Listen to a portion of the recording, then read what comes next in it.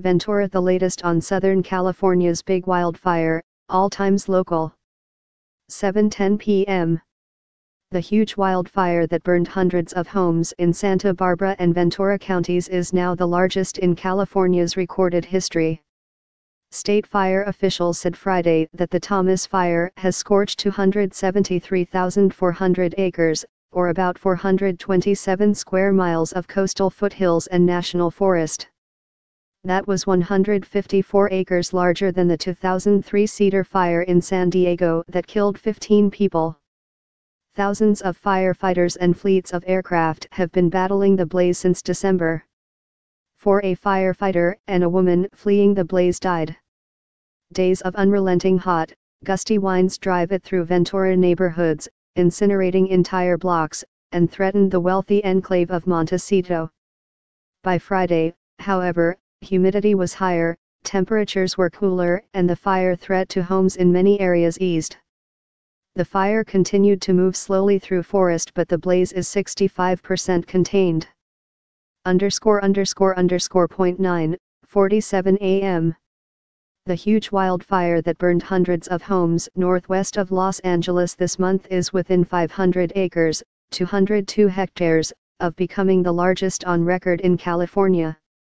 Despite minimal activity, the so-called Thomas Fire increased in size to 272,800 acres, 110,400 hectares, as of Friday morning. The state's largest fire on record burned 273,246 acres, 110,581 hectares, in San Diego County in October 2003. The Thomas Fire destroyed more than 1,000 structures as it raged through Ventura and Santa Barbara counties. It's now 65% contained and all mandatory evacuations have been lifted. Underscore underscore underscore point 12, 42 am.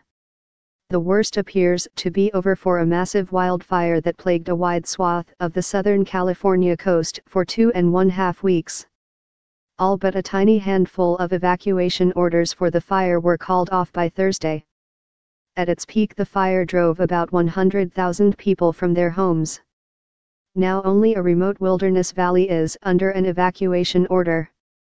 The so-called Thomas Fire could very well still grow to become the biggest wildfire in California history, but as a gentle giant, not a raging beast. Officials say the only visible flame was on the northern side of the fire where controlled burns set by firefighters to clear vegetation were being conducted. The fire is responsible for two deaths and destroyed 750 homes.